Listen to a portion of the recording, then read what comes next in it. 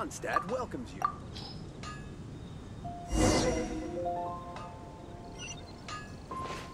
When you're high up, everyone can hear your voice.